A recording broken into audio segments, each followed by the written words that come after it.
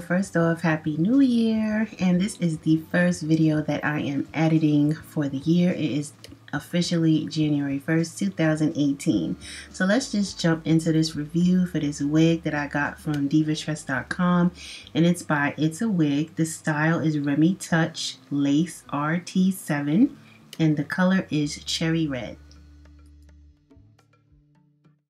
So this is the wig straight out of the package. It is a lace front and I do not approve of this hard plastic lace. It's very uncomfortable and it could definitely scratch or mess up your edges if you don't cut it correctly.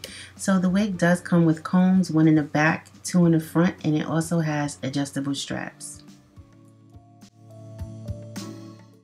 So let's talk about this wig. First off, it is big head friendly and I did not have to use the combs or anything to adjust it. I don't, I don't even think I used the adjustable strap. So it was a really nice snug fit. Now, the only thing that I could say again about this wig is that lace that you cut off. It's really hard and I just don't like that.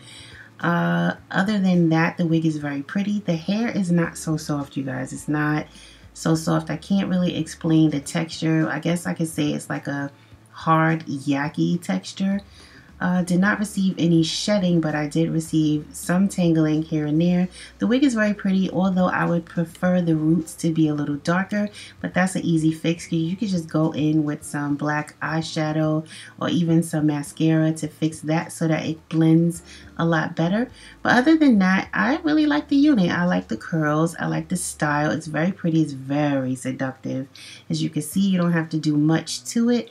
So yeah, you guys, if you like this video, don't forget to hit thumbs up. Subscribe if you're not subscribed. And again, this is from divatress.com. Let me know what you guys think down below in the comment section. And I'll talk to you all later. Bye. Thanks for watching.